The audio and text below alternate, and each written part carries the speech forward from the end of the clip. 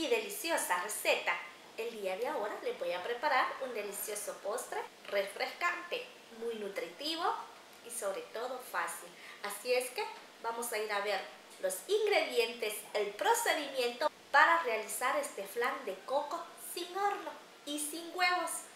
Y si no está suscrito, suscríbase. Debajo del video dice suscribirse apriete aquí y te sale la campanita, también pínchela donde dice todos y ya estás suscrito a mi canal para que te lleguen las notificaciones de cada video que yo estoy subiendo. Ya lo sabes, suscríbase a mi canal que es totalmente gratis. Y estos son los cuatro ingredientes que yo voy a utilizar para hacer este delicioso flan de coco sin horno y sin huevos. Es un postre fácil, delicioso y si ustedes lo desean poner para negocio, bien pueden. Tengo un coco pequeño, lo ven así con este color porque yo lo tenía congelado, pero también lo pueden tener fresco o si ustedes prefieren, compren la crema de coco y va a ser dos tazas de la crema de coco. Este es un coco mediano. Para eso le voy a agregar también media taza de azúcar. Esta taza es medidora. Además le voy a agregar tres tazas de leche. Puede ser vegetal, leche de ajonjolí, de almendras, de soya o la que ustedes consumen. E incluso puede ser leche descremada. Aparte, le voy a agregar maicena simple o maicena natural o fécula de maíz. Si algunas personas desean o prefieren harina de arroz, le pueden agregar harina de arroz en vez de maicena. Y aquí van a ser cuatro cucharadas colmadas y la cucharada es sopera. Ahora lo que vamos a hacer es lo siguiente. En una sartén colocaremos también, aparte de la media taza, sería otra media taza de azúcar y lo, esto es para el caramelo. Lo vamos a dejar acá a que se derrita la azúcar y que se forme el famoso caramelo. El caramelo o el azúcar ya se está derritiendo. El fuego está a medio y nosotros ahorita sí lo vamos a mover el fuego lo vamos a bajar a lo mínimo para que no se vaya a quemar ahumar y lo movemos para que se derritan todas las partículas del azúcar. Como ya saben, y lo he dicho en varios videos míos, el caramelo yo no le agrego agua ni azúcar.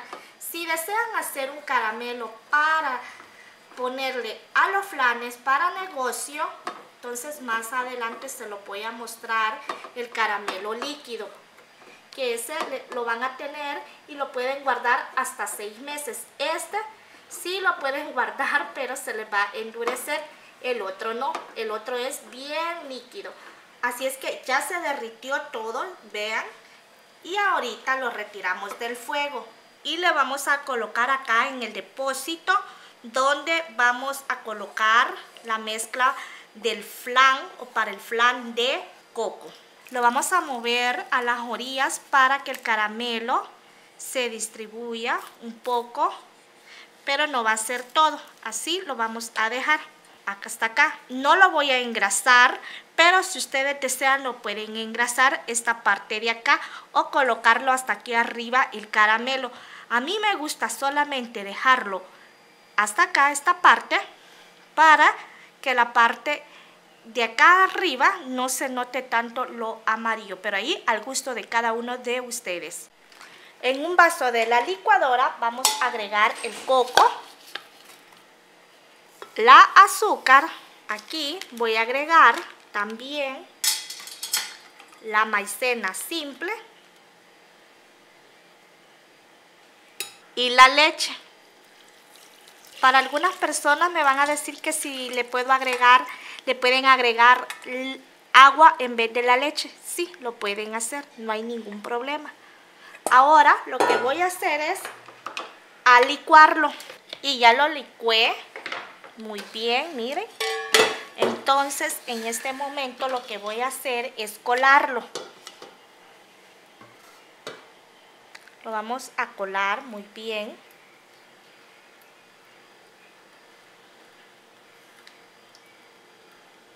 Y ahora que ya lo colé, entonces lo que voy a hacer es reservarlo. Ya esto lo podemos desechar. Y esto lo vamos a poner a la estufa. Y ahora lo voy a mover a fuego medio por unos 20 a 30 minutos. Han pasado 10 minutos y ya no me auxilié con la cuchara, sino con un globo. Y quiero decirles que vean la consistencia cómo está quedando. Pero le vamos a seguir cocinando para que se haga más dura la consistencia. Además, si ustedes no se les ve esta parte así, lo que les estoy mostrando, la que como queda, entonces agréguenle otras dos cucharadas de maicena. A veces las medidas nos pueden fallar, pero siempre hay solución.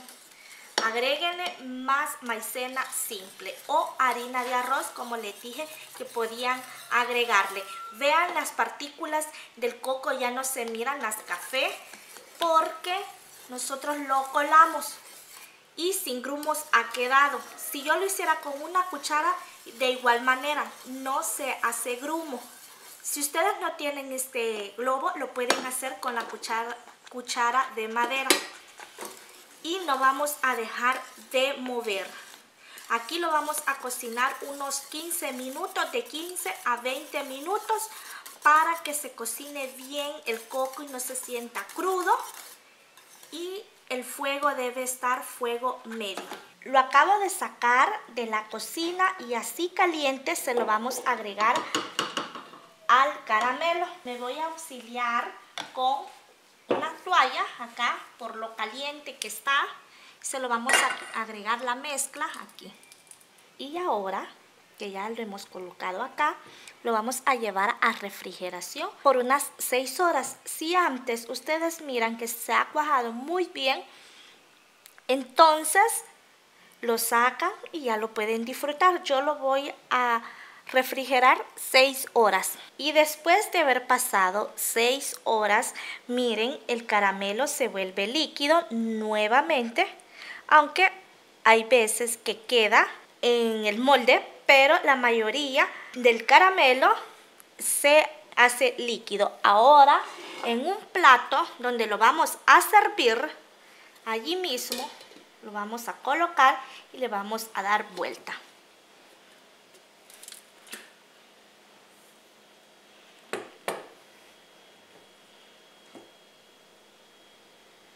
Estas aberturas se hacen porque el caramelo a veces queda con pequeñas grietas y eso hace que aquí estaba el caramelo y por eso se mira así. Pero esto no importa porque lo podemos poner acá, el postre así, entero o en porciones. Y ahora lo voy a partir para que ustedes vean de la parte de adentro cómo queda.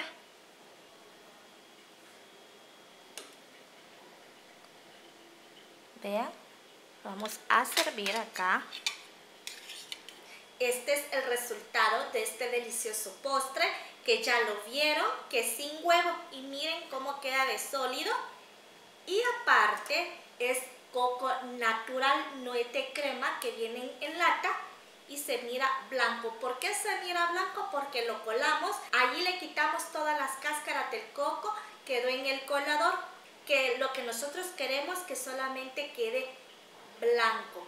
Pero si ustedes desean que se vean esas partecitas café, entonces no lo cuelen. Ahora puedo decirles un buen provecho a disfrutar de este postre fácil, sencillo y sobre todo nutritivo.